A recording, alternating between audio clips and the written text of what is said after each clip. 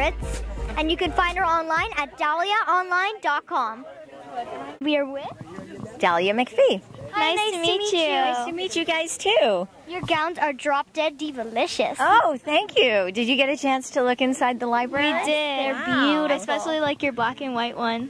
Oh, thank you. middle? Well, black and that's you have good taste because black and white's a big color for next season. Yeah. Now, I, I don't know if you guys can stay around for the party though. You don't look old enough to drink. Do you have identification or? I do. you do. Really? I do. Really? So you go- Secretly. go to Vegas too, and Yeah, go to Vegas party, but what stays in Vegas, what happens in Vegas stays in Vegas. Now I feel old. Do you also sew your dresses as well as design them? I, I do a little sewing, but because we do a you know what's called mass production, I have a whole team of factories that sew the dresses. Okay. And how did you get into fashion design? I've been designing for about 13 years, and believe it or not, I was going to be a lawyer. And I decided that that was just not creative enough for me. So I, I always loved clothing, and I always loved gowns. Gowns were just a little more special to me.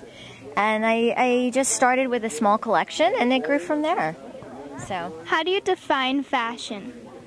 fashion is what makes you feel good. You have designed dresses for celebrities such as Hilary Duff, Heidi Klum, The Vampire Diaries, Big Bang Theory, Glee, and a gold medal winner, Gabby Douglas. How did you make so much of that success happen?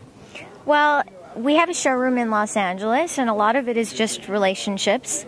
And um, I don't even know what to tell you. You know, in in LA, you, you meet one person and you dress one person. You know how it is. It's like when you go to a party. Who designed your dress?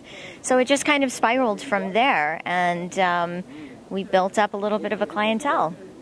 What inspires you to create new designs? My customers. Ooh, mm-hmm. how do they inspire you?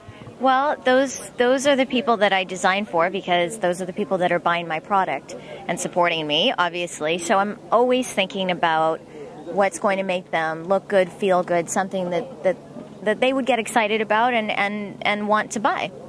And who are your favorite fashion designers besides yourself?